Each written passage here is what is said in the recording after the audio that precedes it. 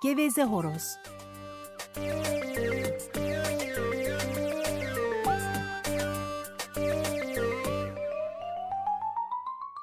O yaz çilli tavuğun bir sürü civcivi olmuştu. Çilli tavuk civcivlerine kol kanat gerdi.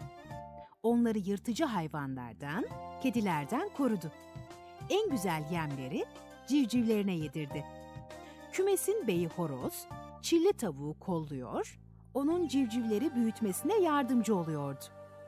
Her sabah gün ağarmadan kümesin en yüksek yerine çıkıp ü ürü ü diye ötüyor, çilli tavuğu uyandırıyordu. Aradan aylar geçti. Çilli tavuğun civcivleri büyüdü. Kendi başlarına yem bulacak yaşa geldiler. Fakat civcivlerin içinde bir tanesi vardı ki herkesi rahatsız ediyordu.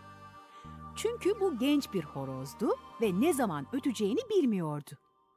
Günün olur olmaz saatlerinde yükseğe çıkıp ü ürü ü diye yaygarayı basıyordu. Onun bu gevezeliğinden kümesteki bütün hayvanlar rahatsız oluyordu.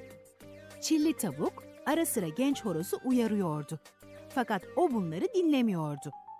Sesinin ne kadar güzel, ne kadar kuvvetli olduğunu göstermek için ürü ü demeyi sürdürüyordu. Bir gün kümesin beyi onu yine vakitsiz öterken yakaladı. Kanatlarını açıp genç horozu yanına çağırdı. Bak oğlum dedi. Vakitsiz öten horozun başını keserler. Bu gidişle çiftlik sahibi seni fazla yaşatmaz. Ötmenin de bir zamanı var. Güneş doğmadan önce benimle birlikte ü ürü ü diye ötersin. Diğer zamanlarda kimseyi rahatsız etmeye hakkın yok. Genç horozun bu sözleri dinleyince aklı başına geldi. Ertesi sabah daha gün doğmadan yaşlı horozun ötmek için hazırlandığını gördü. Hemen yanına gitti.